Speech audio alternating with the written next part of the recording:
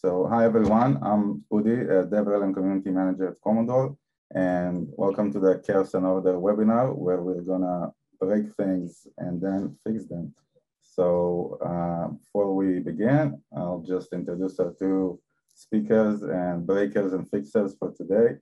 Uh, from Gremlin, we have uh, Julie Gunderson. She's a senior reliability advocate. And from Komodor, we have Rona Hirsch, um, uh, DevOps and a software engineer currently at Komodor.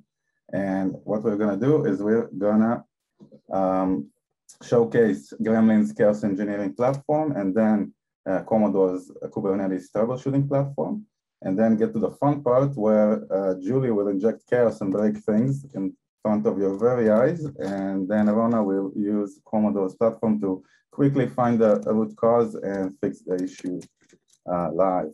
And uh, we're gonna begin in a minute. If you have any questions, uh, we're gonna have a short Q&A at the end of this webinar. So drop your questions below and we'll get to them um, at the end of the webinar. So Julie, Rona, Take it away.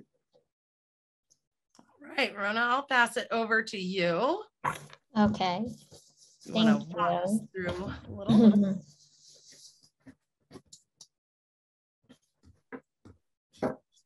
so, um, hi everyone and welcome. I'm Rona. I'm a software engineer at Komodor and I'm going to show you a quick overview of our SaaS-based Kubernetes native troubleshooting and observability platform that enables both developers and ops teams to independently and efficiently troubleshoot incidents by tracking changes across your entire Kubernetes landscape. So let's talk first about why is it so hard to troubleshoot? So First of all, there are a lot of blind spots, right? I mean, changes are often unaudited or done manually, and you can really um, know who did what and when. On top of that, your data is fragmented all over the place, right? I mean, once you have a, an issue, have you have to go and look at your login solution, at your monitoring solution, your CI/CD, your repos, your feature flags, and so on and you have to gather all the data from all of these uh, tools and make sense of it all, and that's not easy. And and uh, also, there's always the butterfly effect that um, uh, at the end of the day, one minor change in one service can affect other services dramatically, and you can really pinpoint where it's coming from. So that's the complexity of troubleshooting in Kubernetes today. Um, so what uh, troubleshooting in Kubernetes looks like today is that whenever you get a, an alert from your favorite favorite alerting tool like PagerDuty, you have to go through all of these different tools. You probably have a lot more logos in your uh, in your stack that fit into the slide, but uh, and you have to spend so much time and resources, resources just to answer one simple question, who changed what and when? Uh, so that's where Komodor, Komodor uh, walks in. And Komodor just collects all changes from your uh, across your system from every tool in your stack and gather it all in one place and makes it very intuitive and easy to understand. And um, and really helps you find the root cause across all your system in a very simple and easy way. Um, so how does it work? Just Komodor collects all your changes across your system and um, presents them in an intuitive and easy to understand timeline, and which, which enables you to draw context, uh, contextual insights from uh, and pinpoint the root cause. So uh, we have a very easy pod-based agent installation. It takes you just several minutes to, to install it and you get out of, out of the box uh, value and you can see all your uh, services and all your stack in just uh, in one simple installation. Okay, so now we can just, uh, Julie, maybe I can just uh, show how it looks like on my end. Absolutely, take it away. Thanks.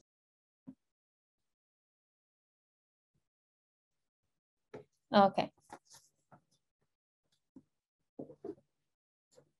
So um, here you can see the um, main services view where we can where we can see an aggregated multi-cluster view of your Kubernetes resources. And here I have only one cluster, but you can use you can install several clusters and uh, and uh, it will appear here at, on the left side. Um, um, here you find services such as deployments, stateful sets, uh, and daemon sets. And for each service, you can see its health status and its replica status. Um, you can uh, filter out, use these filters uh, on the left side and navigate uh, through your services um, using these uh, filters. And you can filter by namespace, by cluster, by health status, by kind, and additional filters that you can custom, customize on your own, uh, just with a simple um, configuration.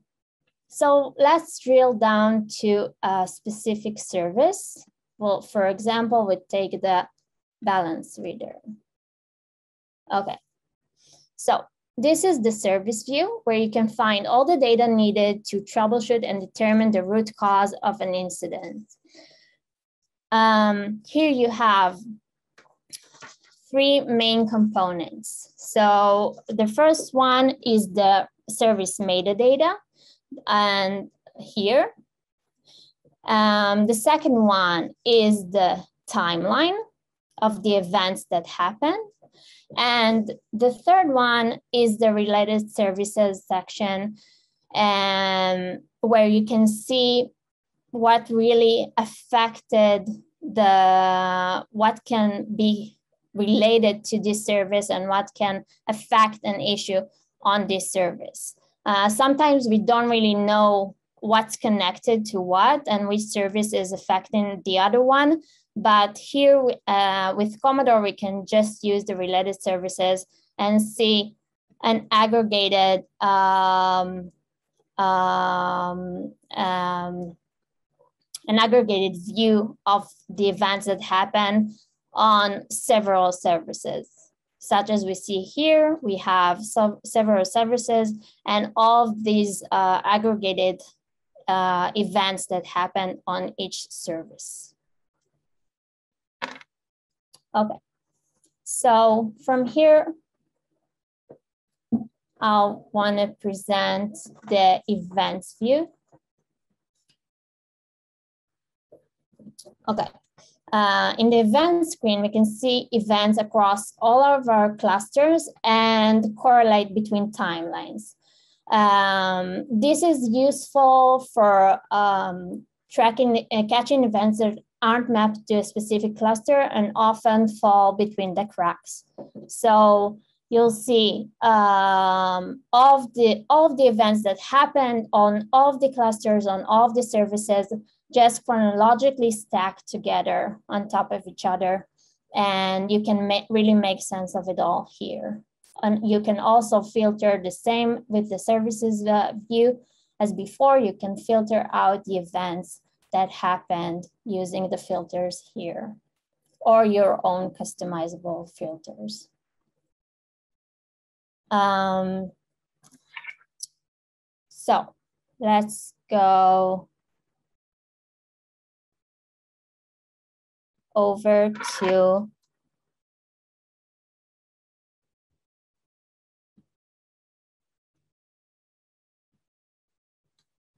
let's go over to uh, an example of uh, one uh, event that happened. So in this event, we can see that there was a health change event. And the reason was that there were not enough ready replicas. There were supposed to be one, but there were only zero. So we got an alert and we got an health event of not, not enough uh, healthy uh, ready replicas. Uh, we can see here when the event started and when it ended. We can also see that the notifications were sent on a specific channel that I defined before. We can see the deployment that was related to it. And we can also go over and view the pods and logs status.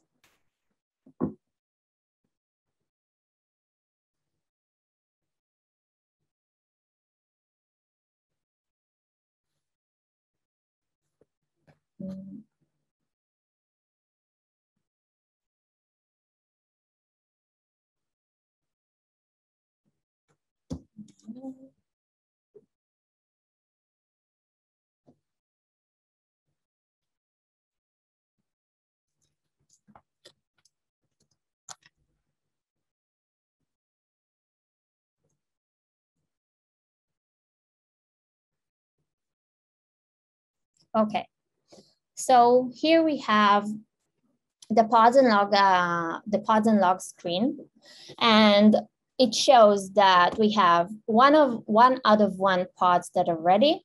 We can see its state that it's running. We can see how uh, long it is running for, um, the number of containers, and the node that it's running on, and its name, of course. As we can see here, that's the same as if I were running kubectl describe pod and uh, specify the pod name. I can see the describe of the pod, everything that is uh, in the describe uh, command. And I can see the events, I can see that it is running, and I can see also the pod logs here.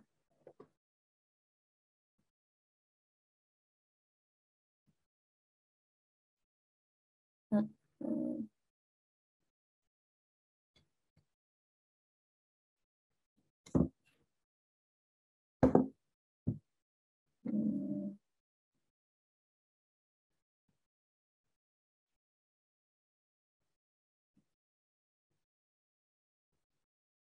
some reason. Mm-hmm.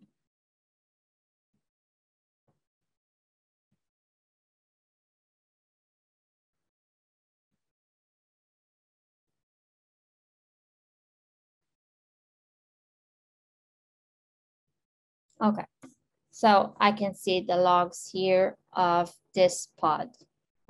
You can see all the st stack trace here and all of the uh, application logs. Uh, so that's a quick overview of Komodor. And Julie, we can go back to you. Excellent. Thanks, Rona. If I can remember to take myself off of mute. Let me go ahead and take that screen share back. So can you see my screen right now?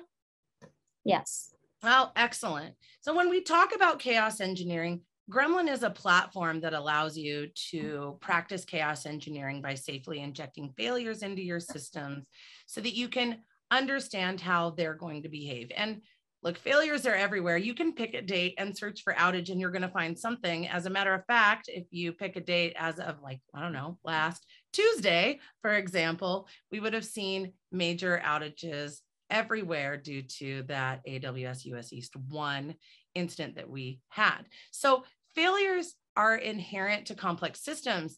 And you know, when we talk about complex systems, our systems have completely changed from the monolith to the microservice when we move from on-prem to the cloud. And that brought some great things like the ability to scale.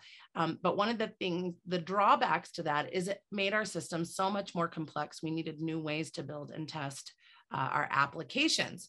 And so when we talk about to chaos, what chaos engineering is, what gremlin is, we talk about chaos engineering and the fact that reliability is no accident. It's a practiced way of making sure that our systems are resilient. And chaos engineering brings that together with thoughtful and planned experiments that reveal weaknesses both in our systems and within our human systems as well. And we want to look at maybe like where is our tech broken or insufficient? Like does the user experience break? How's monitoring and alerting working? Does auto scaling work? And for our human systems, you know, let's look at our alert rotation. Where are alerts working? Working? Were the documentation and playbooks up to date? How did the escalation process work? So with all of that, when we talk about chaos engineering, one of the things that we'd like to talk about here at Gremlin is the fact that you're following the scientific method. So you're observing your system, you're creating a hypothesis. You're saying that if I do this, we think this is going to happen. We think this is going to be the end user experience. And then you're testing that hypothesis. Then you're looking at the data that comes back to you and you're analyzing that. And then you repeat. And you're making sure to share the results of those experiments out to the rest of the organization when you practice chaos engineering, there's a few things that you want to do. You want to start small. You want to be careful. You want to start in a, a single service or host, you know, not necessarily the whole application or fleet and in a controlled environment with a ready team. And with tools that are going to allow you to see what's going on and to be able to to troubleshoot that. And that's what we're going to show for you later on. Once you've started small then you expand that blast radius. You also want to make sure that you can safely schedule or automate your chaos engineering experiments um, and so that you can expand that blast radius out. Now we're not going to show that to you today because we've got some some fun attacks that we're planning on on doing but you can definitely learn more about scenarios and status checks over at gremlin.com when we talk about adopting the practice of chaos engineering, you can adopt the practice in development so that engineers are architecting for failure and you get confident testing and development. And then you move to staging. You start small in staging and then expand your blast radius. And then finally, you can move into production and you can start small and then you can increase. And if you think about it, it's very similar to how you do development. So you don't need to overthink it. You want to work iteratively like you do with code, move up the environments like you do with code you already know how to do this. And so I just want to cover kind of some of the different types of failures that you can run. And we're going to go over some of these today. So there are failures that you can start with, such as resource failures, um, so that your test can progress as well. So you can start with CPU, disk failures, memory, and IO. I mean, that's what the cloud was built for. Does, does your auto scaling work? Then you can also look at service failures. So we're going to run a few of these today. I'm really excited to, to see what happens. But we, there are process killer attacks or host pod and container shutdowns. You can even run attacks that skew your clock. So the questions you want to be thinking about are, can your service restart itself without manual intervention? You know, is traffic automatically routed to the restarted service? You want to make sure your own stuff is resilient. And then we can also look at dependency failures. So these are tests like black hole, DNS, latency, and packet loss. So we want to look at what happens if a dependency is unavailable. What happens when the network is bad? Can your service handle things asynchronously? And then there's also application failures. You know, you can move up the stack to test the application. You can inject latency into the code. You can throw errors. And so when we talk about chaos engineering, what we want is continuous chaos so that you can have confidence and resilience to a particular failure mode. We want to automate it to prevent drift into failure. And so today, let's go ahead and kick off some attacks and let's see what we will see in Komodor and how we can use that to troubleshoot. Now I'm going to go over to Gremlin here. We've got Komodor loaded. And I think we should go ahead and start off with, what do you say, maybe a black hole attack, Rona? Mm -hmm. Yeah, let's do that. so I, I, had to ask you a question right as you were taking a drink. So the black hole, that's going to drop the IP packets at the transport layer. So we're going to, let's say, uh, let's black hole the load generator. So what you're seeing right now is the Gremlin app. Um, and there are many different ways that you can run an attack. So we'll do this a couple of different ways. Right now, let's just go ahead and see. Let's go to our services. Let's see if we see the load generator over here, which we could go that way. Um, we're going to go ahead and select our load generator and we're going to select attack this service. So as you can see, we're attacking the load generator. We've got one replica set, one pod, and we're going to choose our gremlin. And as I mentioned, we're going to run a black hole attack. So we are going to block that traffic. Now, you can see here, right here, that Gremlin is whitelisted that so that it can communicate with the control plane at any time. If that connection is lost, it's going to abort the attack because we want to revert to safety.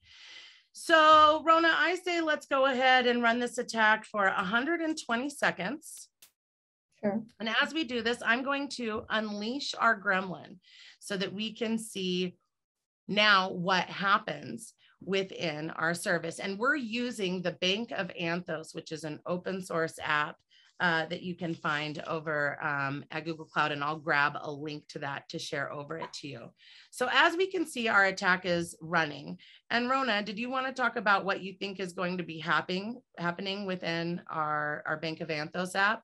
Yeah, so I'm thinking that our Bank of Anthos app is going to, uh, we're going to have issue with, with, it and we're, we're not gonna be able to uh, deposit funds or send payments. And we're gonna see a lot of uh, critical uh, issues in the Bank of Anthos uh, applications.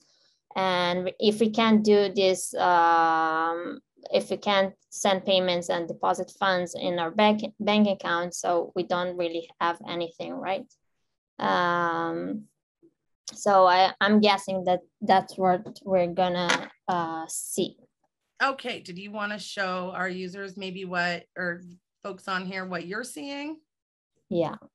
All right, let me stop the share and pass it back to you.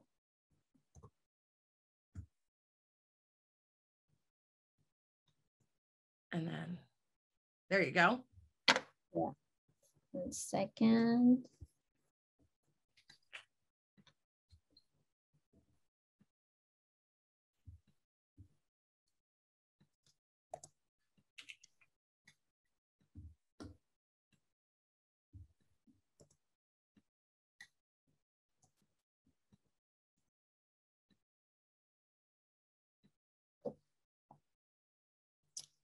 Yeah. Um, where's my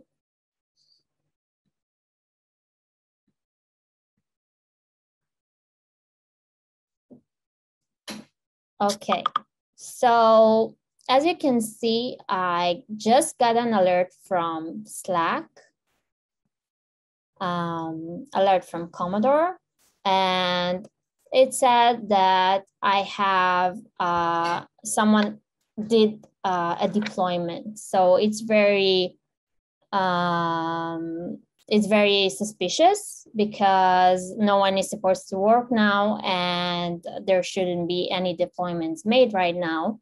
So I'm gonna go ahead and look at it.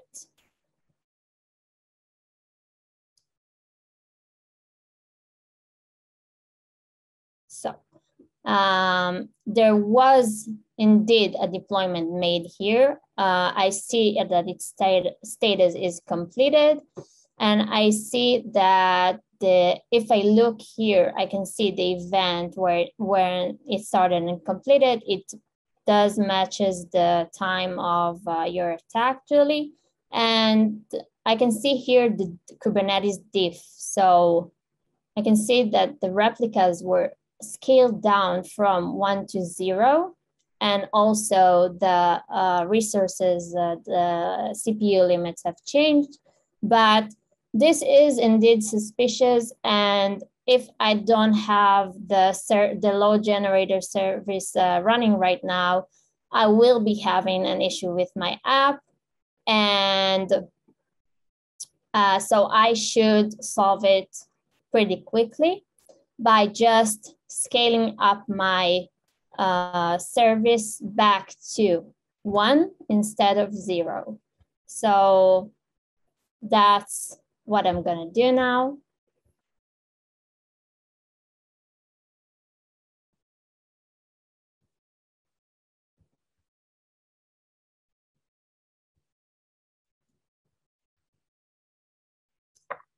So I'm scaling up my app.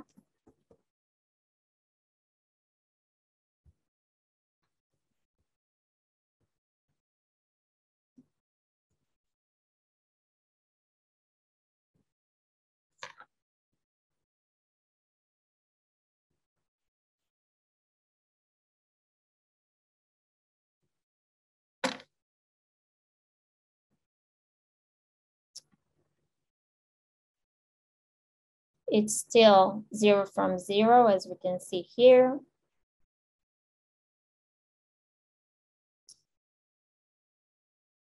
And it changed now to one from one. So I scaled up my, my service, the load generator that Julie attacked.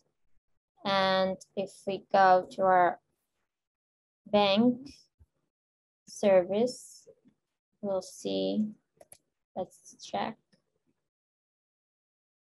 I can do a deposit and we'll see if I can send payments to someone.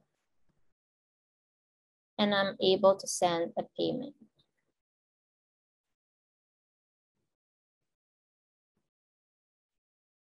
Yeah, so that's um, solved my issue pretty quickly and it uh, brought back, back the load generator service and now my application is healthy again.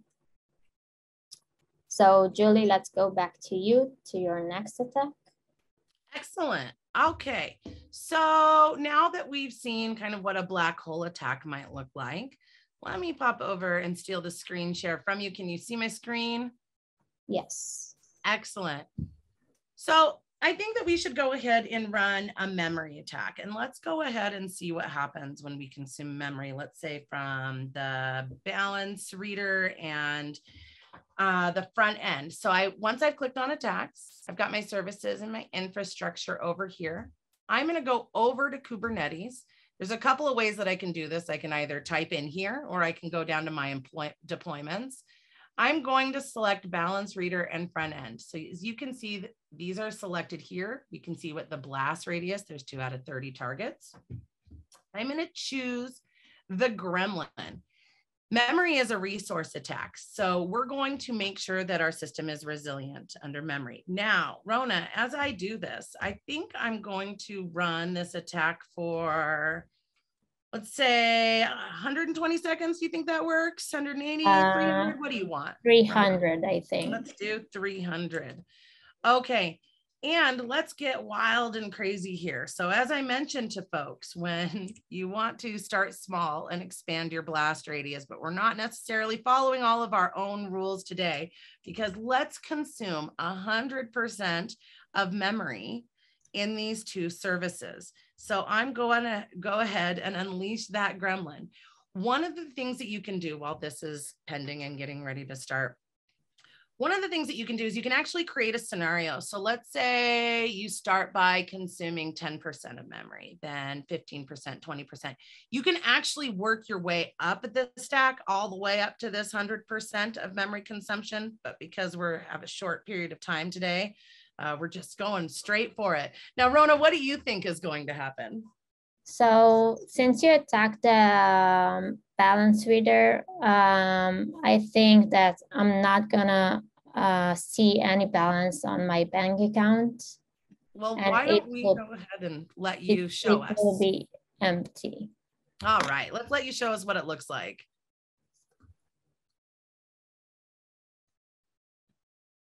Okay.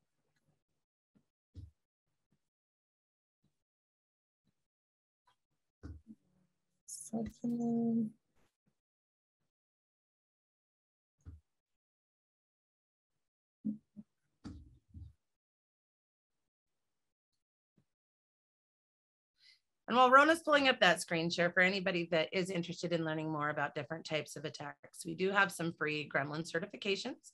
So you can go over to gremlin.com forward slash certification and uh, we have a free practitioner and professional certification, which will teach you a lot more about all of this. And Rona, that attack is running right now. Okay. Great.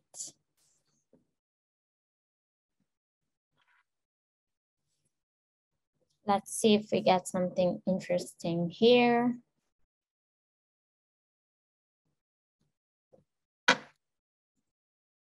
And then on the Bank of Anthos, are we seeing any issues on that side?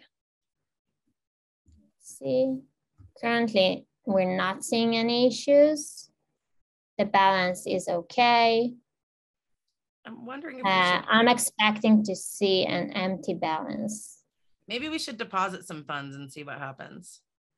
Maybe. How about like a thousand dollars? Let's just give us some money today. I always have way too much fun depositing money in here. So it does look like the deposit was successful. The attack it is, is successful. Running. And we still haven't got any alert from Komodor. So let's try maybe some payments. Yeah, and the payment is indeed successful. So the bank is, um, my bank account is currently healthy and working and everything is good. So I imagine it will take several minutes to see.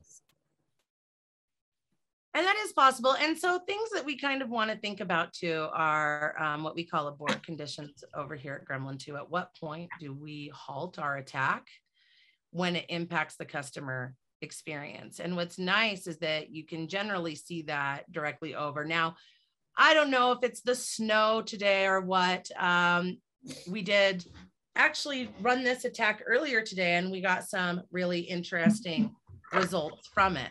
But yeah. maybe maybe the snow is well, let's just blame it on the snow because that's kind of fun. maybe the um, snow makes everything better. I think it does. And also Kubernetes is rather resilient too. yeah. um, the attack is still running in the background and it looks like you have some questions here. So um, I'm just gonna be your little moderator and ask you these questions. Uh, is Komodor able to do slight changes to remediate the detected issues? Um, we're not doing any changes to your uh, application or infrastructure. You have to do it on your own. But we do show you the root cause and we do um, uh, make sure that you understand the root cause really quickly and easily and you can fix it on your own in a very short time. Excellent. Um, why don't we check the Bank of Anthos again real quick and see while this is still running.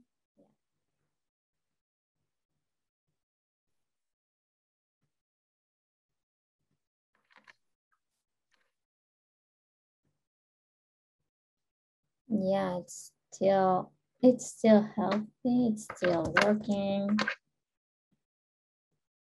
Everything is working. Maybe you can, we can try it one more time. Yeah, it looks like it was successful. Yeah.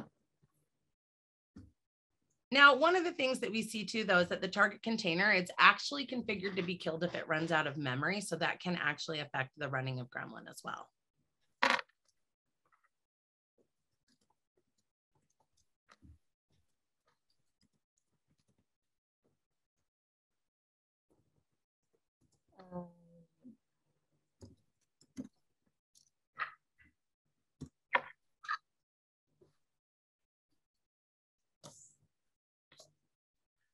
So why don't we try something a little bit different here? I am going to shut some things down, Rona, and I'm not going to tell you what.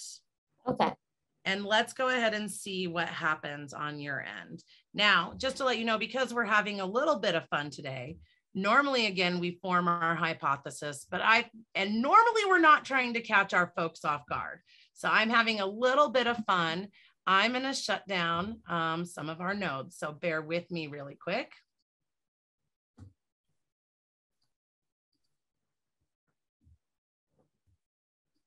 So I don't want to show everybody what I'm doing, but you can in the Gremlin app, which you can get for free, app.gremlin.com uh, for the free trial. I am running a state attack, which is shut down. So we're going to be testing the resilience to host failures.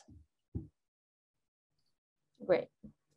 And I actually am rerunning that attack because one of the things that we have in the shutdown attack is a reboot. So that indicates that the host should reboot after shutting down. And I forgot to toggle that off.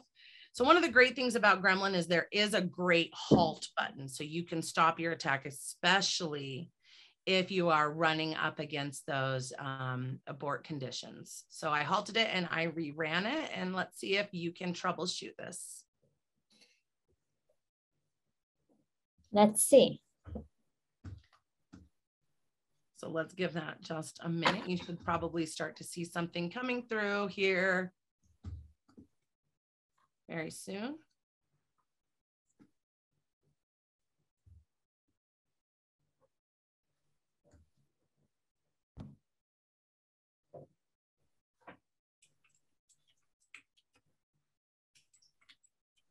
Looks like you have another question. Is Komodor able to track changes that are not only code changes, for example, config slash features?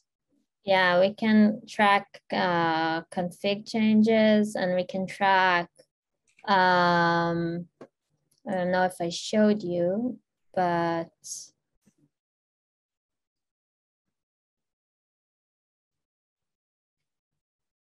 one second.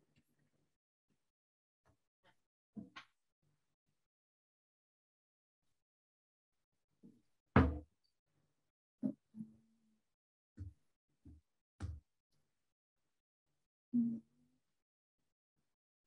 right, Here. Rona, I'm starting. Okay. Are you starting to get any alerts in?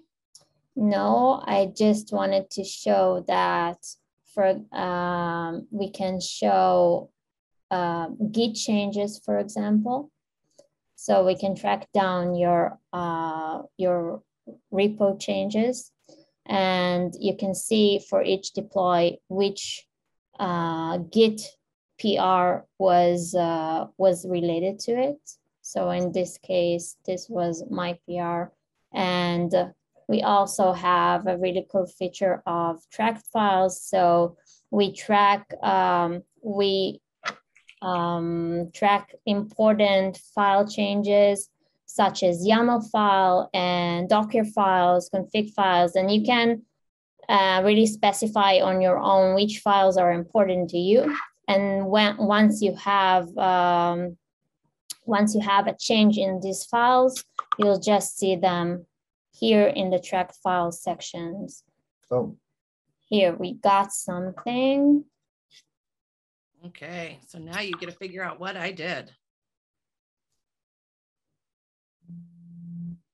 That's a lot of red or pink. Yeah, Red. a lot of Yeah. that.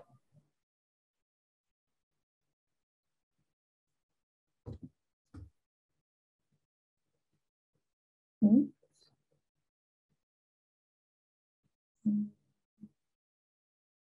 Okay, so I can see here in uh, in the Slack channel that I have a lot of services that became unhealthy.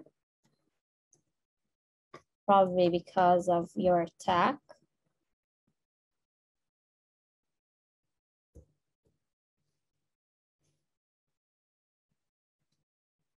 Mm, Yeah.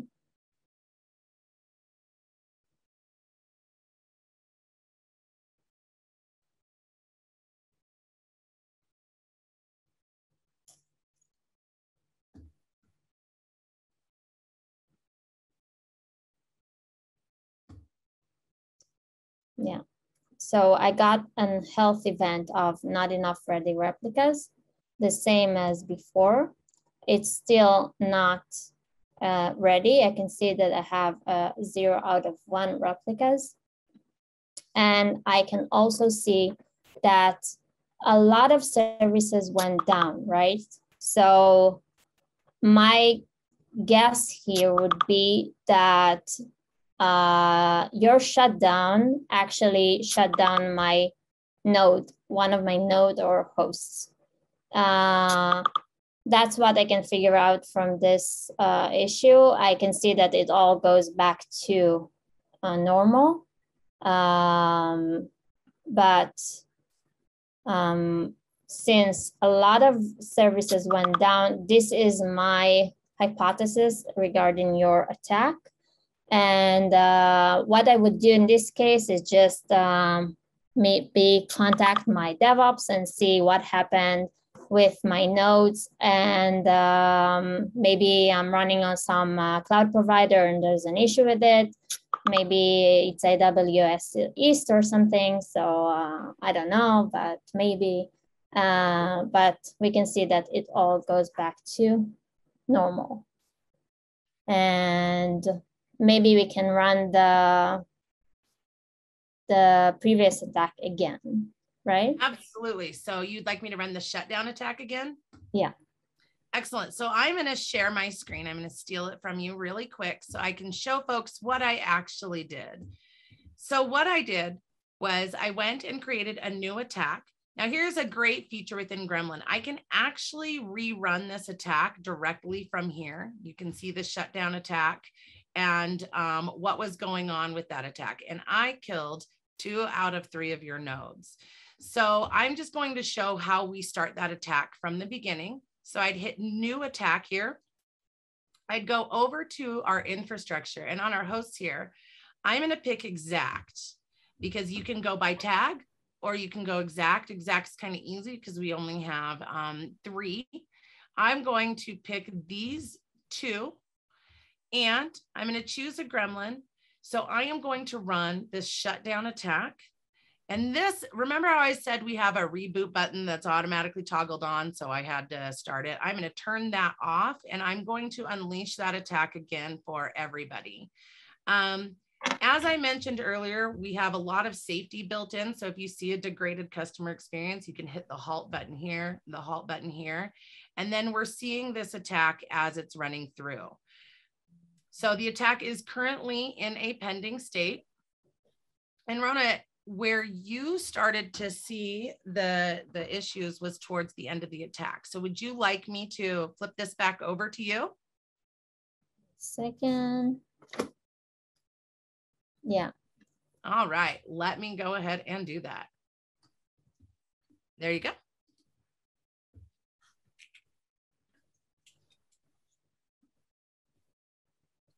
And we did see that that took a moment for that to come over. We're seeing some interesting, interesting things here on the attack. Actually, Rona, I am going to steal it back from you because yeah, I shouldn't have okay. it away so soon.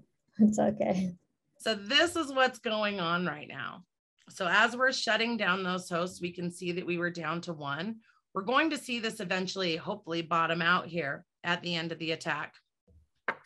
So while we're doing this and while everybody's watching the fun here, uh, another question for you, can I integrate my alerts into Komodor? Yes, you can. You can, we have a lot of available integrations at Komodor. That's our actual, actual strength. And you can integrate uh, whatever alerts alerting system you're using with Komodor, you can send your alerts to Komodor. So you have the integrations uh, page here and you can choose whatever alert, alerting tool you're using and send your alerts back to Komodor. And it will all show up nicely um, in, the, in the services and events view. Excellent. Now you can see that we are down to zero healthy hosts. I am guessing that you are probably going to get some alerts now. So I will go ahead and stop my share um, and give it back to you. And while we're flipping that over to you, you have one more question, which can you please explain how Komodor is different than Lens IDE? I don't know what Lens IDE is, but can you explain how it's different? Lens IDE is basically uh, a tool for you for um, one second. I'm just gonna, I can't do it all together. yeah, sorry. I can re-ask you that. Okay.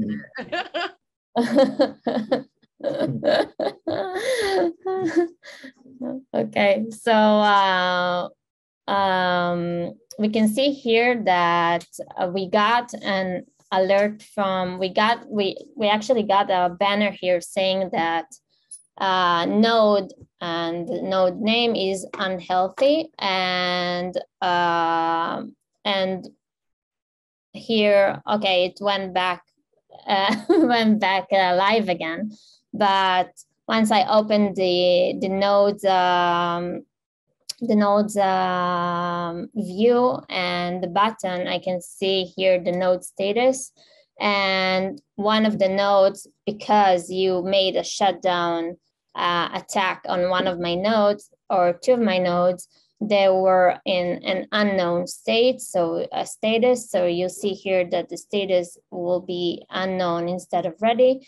And kubelet it will not be able to post any uh, statuses. So um, that really what appeared here in, uh, at the banner. And now since uh, it all went back to normal, uh, the the nodes are ready again and I'm expecting the services to go back uh, and be healthy again.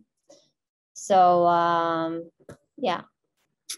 Oh, and we should have shown what the Bank of Anthos looked like that. I'm wondering if you're going over there, if there'll be any residuals. Here. Uh, I can see here, as I said, now uh, I'm expecting my services to go back and uh, to health, uh, to be healthy. And uh, I can see that this indeed what happened. Um, every service here, I get an alert and I see that it recovered.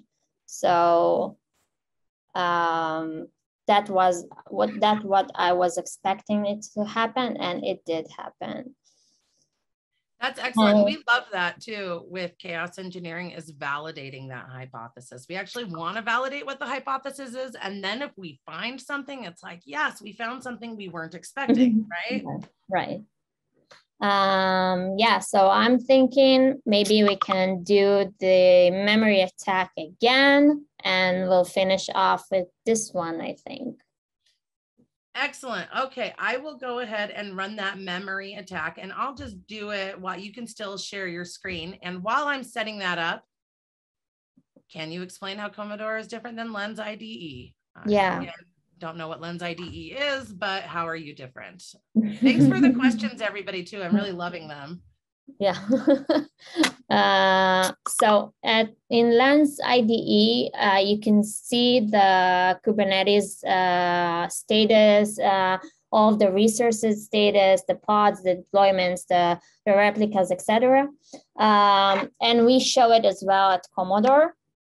But uh, in, land, in lands you don't have any history of the events and you don't have a way to tell what happened uh, the day before uh, or uh, uh, 30 minutes before, etc. And uh, actually, you don't have any history as well. You don't have a way of integrating um, the the same as we said before of integrating a lot of your um, a lot of what you're using in your system, a lot of your tools into the same location. You have to go and check everything um, on its own, and it's really hard to do. So Komodor just integrates everything into one location.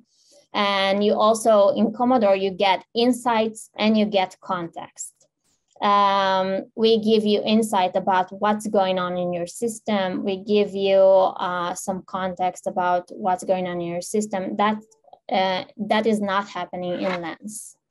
It just gives you the Kubernetes resources status at the moment. So that's the difference. Well, thank you. Um, and thanks for the explanation. And uh, that, that memory attack is running and I'm not seeing anything on your end. And I can attack more things as well. Um, yeah, go for it. Speaking of fun, does anybody in I mean, the audience have anything we'd like to attack? I mean, we can. I think maybe it just takes some time until um, it happens. Maybe we can run the memory attack on more uh, resources because I think that everything is working fine now. Let's see. I can see my balance. I can maybe deposit funds. Oh, I'm not authorized to deposit funds. Oh, Yeah. not authorized to deposit Something funds. happened, something So happened. something happened. Yeah, Yep. did. Okay, That's really frustrating too. If you're trying to deposit funds in your own account and you would get that attack or right. that um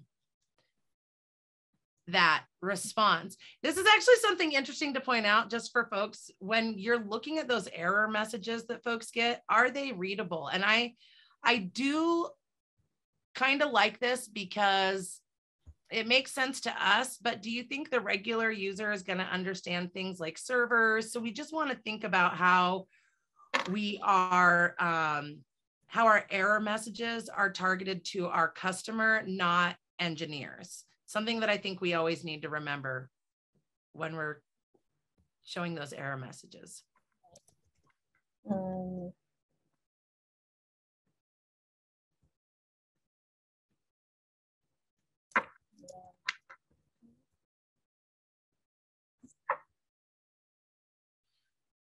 Well, the attack is running. Oh yeah, something happened. Oh, there it is. It went right at the top of the hour. Is everybody seeing that? Oh, I hope not too many people. Yay! Yay. Let's see, let's see. Great.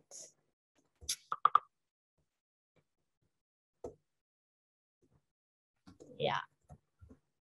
But it all it all goes back to okay, but we see that we got an actual out of memory killed issue here. Yay. And we know that in Kubernetes, out of memory killed issue can be caused due to an application issue or due to some underlying infrastructure issue, uh, such as the node having um, um, having uh, an issue and actually maybe the node just the schedule just decided to um, to um, to um, unschedule my application, but it's not related actually to my application. It's just related to the node. So we can just click here on the view analysis button and see what Komodor tells us. So we can see here that we do have an out of memory issue. We can see which container container has failed and we can see the memory details for that container. And what Komodor does for us is just running automated checks for us in order to figure out what was the issue and what is the root cause of this out of memory issue. Um, so um, we just, uh, we, we are running some uh, smart checks, maybe ones that if you get an out of memory killed issue, your DevOps, uh, your senior DevOps will tell you to check. So um, we're checking if there were uh, some spec changes. We're checking uh, if the node is overcommitted. We're checking the quality of service. We're checking if maybe additional services were impacted. And we're checking other pods on this service. Maybe it's just this pod that was uh, um, that has an issue, or maybe some other pods on this service has an issue. We can learn a lot from this um, from this checks. And for each check that we're running, we're explaining to you why are we running this check and what you can learn from it. So if you look at the more info button, we do uh, suggest, we do say, what are we doing in, in this check and why are we recommending, for example, to roll back to previous configuration. Um, so uh, this actually does tell me a lot about what's going on in my system and what I should do about it. Um, yeah. So uh, in this case, maybe I would go and I see that my node is, is overcommitted. So I would just try to add more nodes to my cluster or maybe increase uh, the memory uh, resources that I have on my notes, And this can this can um, solve the issue for me. And if not, I have two more options here to um, to choose uh, to pay attention to. Um, the other checks that they have, we have three um, checks here that were um, uh, that we discover as uh, maybe are causing the issue, and the other two are we're saying it's all good. um, you don't have any additional services, and you don't have any other pods that are failing in the service um, yeah, and I think we're running out of time. the thing that I want to say is once you've once you've done those things, then rerun the attack to make sure now that your your all your remediations work. But yes, we did run out of time, and yeah. this was lots of fun. And I'm glad we got some things to break. Um, I did run this second memory attack for a little bit longer. We attacked a few more things. Um, Gosh, Rona, thanks for the time today. It's oh, always thank fun out you. Thank you for creating chaos in my uh, application. Any time.